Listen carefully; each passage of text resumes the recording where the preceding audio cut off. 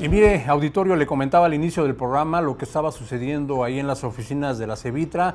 Nos amplían esta información, nos dice que al menos 100 personas identificadas como mototaxistas del Frente Popular 14 de junio a bordo de tres camiones de la línea Sachila-Yo tomaran las oficinas de la Secretaría de Vialidad y Transporte, la Cevitra, para exigir que les sean pagados los daños de las personas que resultaron lesionadas y los vehículos volcados y quemados por el sindicato Libertad el día de ayer en la, en la tarde noche. Bueno, pues esto es lo que está ocurriendo eh, afuera de las instalaciones de la Cevitra y nosotros seguimos platicando con Marlene Rodríguez Raimundo, directora de AMANC y Rommel López Ramírez de Efecto Mariposa, este grupo de voluntariado que realiza una noble labor a favor de niños contra el cáncer. Eh, insisto, en la atención que necesitan, que requieren estos niños con cáncer una vez después de que salen de las quimioterapias. Primero, ¿qué es una quimioterapia? ¿Qué tan agresiva suele resultar un tratamiento de este tipo para los niños? Eh, bueno, pues sí es, es este, agresiva, ya que pues en este tratamiento se van tanto células malignas como, como buenas, y pues entonces el niño cuando sale de su quimioterapia pues sale, sale cero defensas, sale cero plaquetas, entonces sí es es un poquito delicado, ¿no? Sin embargo, pues la quimioterapia pues realmente ayuda a estos niños. Claro. Y bueno, Rommel, por ahí nos contabas de una, de una experiencia que te provocó pues ciertos sentimientos encontrados, ¿verdad? Y, y, lo que comentábamos hace algunos instantes, hay que estar preparados para poder trabajar con hombres y mujeres y niños que están atravesando por esta etapa tan, tan fuerte, tan impactante. ¿Por qué no nos compartes esta, esta experiencia, Rommel? gracias, sí. te comentaba, eh, ahorita introduciendo, esto que estamos realizando en efecto mariposa es el resultado de, años de haber realizado ya actividades de, en este tipo de cosas. Entonces, en, una de, ellas, nosotros recibimos la invitación de ir al Hospital de la Niñez para visitar a los niños y dijimos, ¿qué les podemos llevar? Entonces investigamos, ahí fue donde nació el, empezar a hacer nuestros pininos en risoterapia. Dijimos, pues vamos a llevar este, risoterapia, eso les ha de llamar la atención. Eh, ahora sí que ahí nos dimos cuenta de, todo lo que yo he podido realizar eh, en actividades de servicios, en cárceles, en el Consejo de Tutela, eh, Defensa de la Mujer, ya hemos hecho algunas actividades de eso. A veces vamos cada año y llevamos, no sé, 500 juguetes para los niños que que vienen de, las comunidades y vienen a vender sus productos, en Navidad, en Reyes, les, llevamos algún regalo. Pero de todo eso y, de dar algunos talleres o conferencias, lo más difícil para mí fue el, hacer la risoterapia en un hospital. Realmente es muy difícil. De entrada, pues es, digo, tú tienes tal vez cierta personalidad y te pones una nariz y es este, como que cambia totalmente, ¿no? Porque estás en un personaje.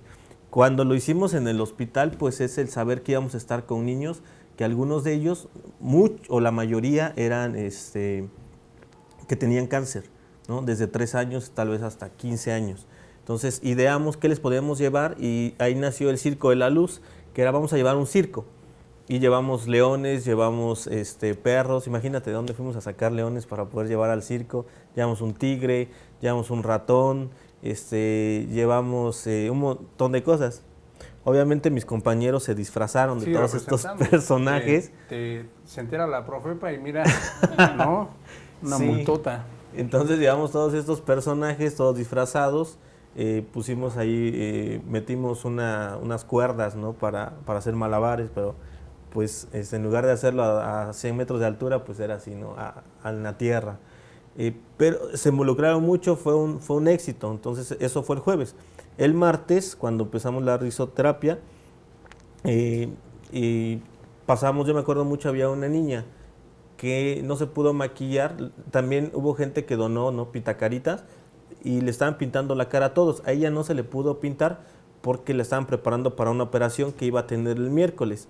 Entonces ella estuvo presente y estuvo presente su papá. Yo me acuerdo mucho de ellos, incluso este, había alguna foto que yo me habían tomado donde yo estaba con ellos, eh, porque le hice cosquillas a su papá. Entonces, da de cuenta que el papá estaba un poquito serio y le empezamos a hacer cosquillas. Entonces su hija nos ayudó a hacerle cosquillas y al final fueron unas carcajadas que, no se aguantaba hasta la niña hasta le, dolía, ¿no?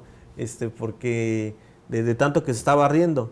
Pasó, fuimos el jueves, nos retiramos, como una semana después eh, nos mandan eh, unos saludos. Una compañera me dice, ah, dice, les mandan saludos del hospital Dicen que el papá está muy agradecido. ¿Te acuerdas de la niña que le hiciste cosquillas? Ah, sí. El papá está muy agradecido, está muy contento. Ah, pues gracias, ¿no? Es que la niña murió. Me dice, el miércoles entraba una operación a corazón abierto y la niña falleció. Y ella ya, yo no supe que ella ya no estuvo en el, circo. y te mandan eh, agradecimiento a todos porque la niña y el papá eh, no habían tenido ese momento.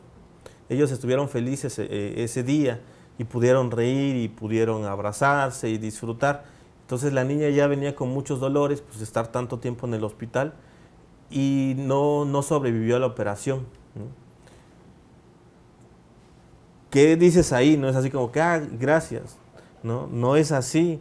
Entonces, no, por supuesto que no. Yo sentí horrible, horrible, muy feo Incluso me molesté con la persona que me dijo, mi amiga, me mandó el regalo. Le digo, no me digas eso.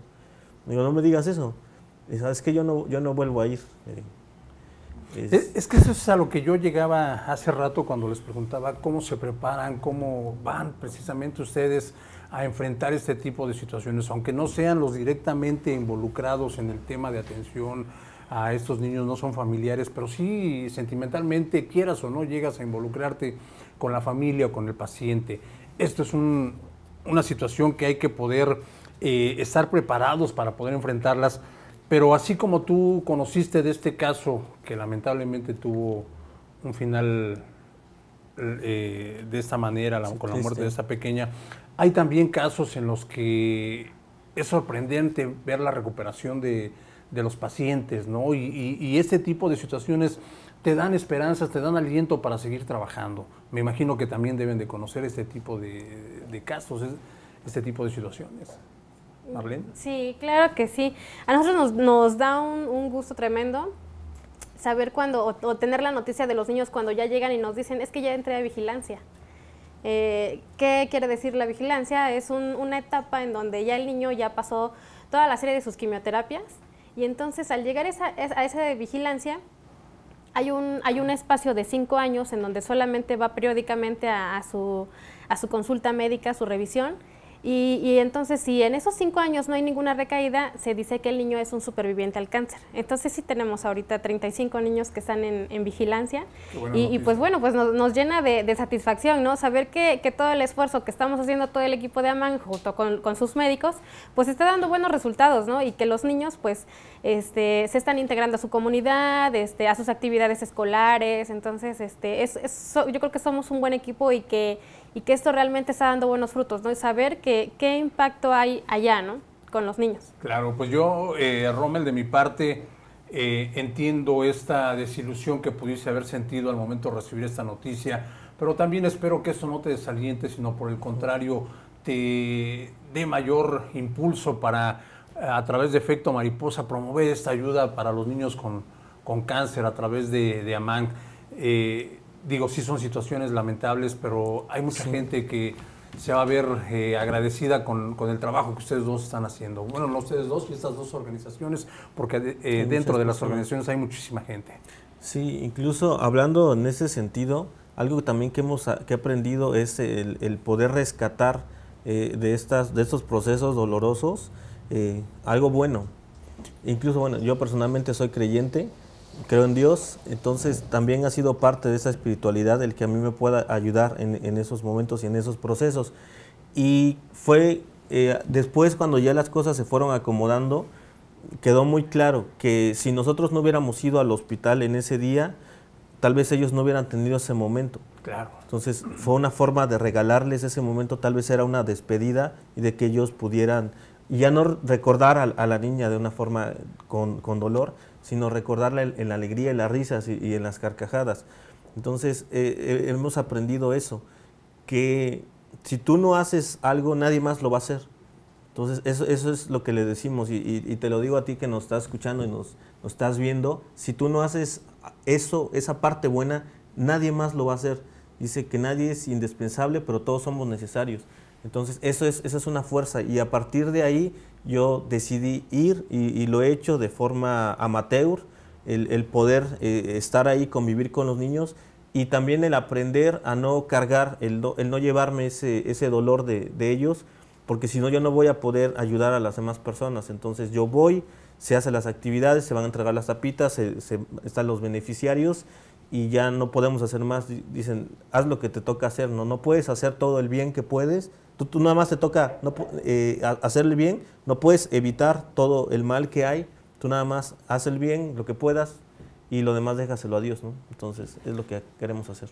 Marlene, tenemos eh, ya un poquito tiempo para despedirnos. ¿Algo más que nos quieras agregar? ¿Algún mensaje que quieras hacerle a la gente? ¿Alguna invitación?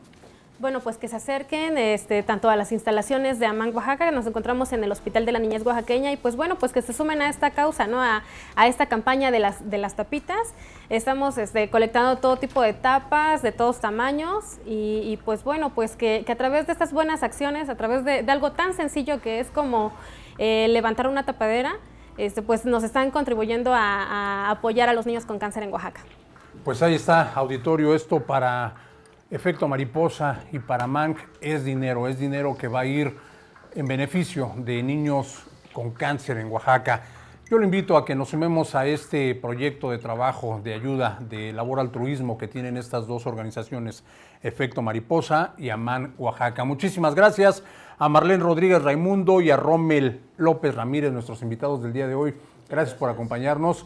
Y a usted, auditorio, pues yo le agradezco el favor de su atención, como siempre, a nombre de nuestra productora. Me despido y lo invito para que en la siguiente emisión nos veamos en punto de las 12 horas del día canal 152 de Easy. Hasta entonces.